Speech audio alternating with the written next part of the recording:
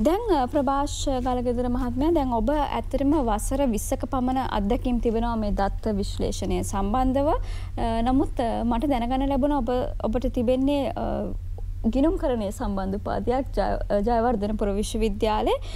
ඉතින් එනිසා මංහිතුව මුලින්ම ඔබෙන් අහන්න. දැන් ඔබ මේ වරලත් ගණකාදී කාරී ගණකාධිකාරිවරයෙක් වශයෙන් කටයුතු විදිහර තමයි ඔබ ඉගෙනගෙන තිබෙන්නේ.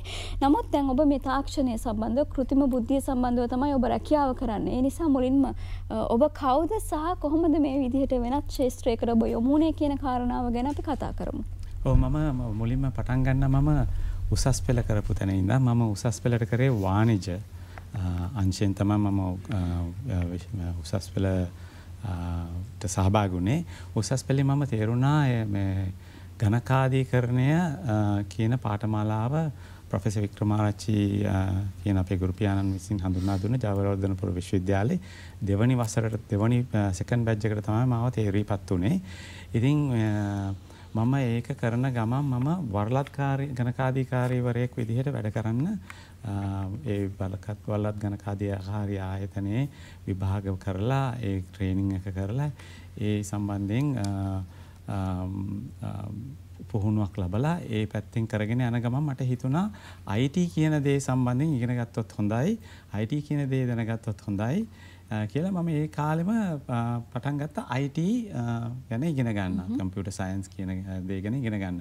ඔය මම කියන කාලේ Y2K කියන බක් එක ආපු කාලේ ඉතින් මම වැඩ කරේ කොළඹ මේ තිවිච්ච අර්නස්ටෑන් යන් කියන විගණන සමාගමේ ජාත්‍යන්තර විගණන සමාගමේ කොළඹ ශාඛාව වැඩ කරන ඒක වැඩ කරන කාලේ මට අවස්ථාව ලැබුණා. ඉතින් ඔය IT සම්බන්ධයෙන් ප්‍රොජෙක්ට්ස් කරන්න. ඉතින් මම ගණකාධිකාරයෙක් වුණාට වෙනක මම අයිටත් ඒ දවසල්ම කරලා තිවුණා ඉතින් පසු කාලයනේ මම ඔස්ට්‍රේලියාව පදිංචිට ගිල්ල මම තාම වැඩ කරන්නේ ටෙල්ස්ට්‍ර කියන විශාල් සමගම එක මේ ටෙලිකමිනිකේෂන් මීඩිය කම්පන එකක් ලංකාව තියෙන ඩයලොග් ටෙලිකොම් වගේ ලොකු හේ තියෙන විශාල කම්පන එක ඒක ඉන්නක වැඩ කරන ගමන් මම ෆයිනන්සින්නකට මට අවස්ථාවක් හමුණා ඒ අයි කියන ෆිල් එක එදදස් පහල විතර සහභාග වෙලා ඒකේ කළමනාකාර ජනල් මැනජ් කෙනෙක් විදිහට වැඩ කරන්න. ඉතින් ඒ විදිහට තමයි අර මගේ ඉගෙනගත්තර ගණකාධිකරණය මම මේ IT කියන සමදේත් ඒ දවසල්ම ඉගෙන ගත්තා.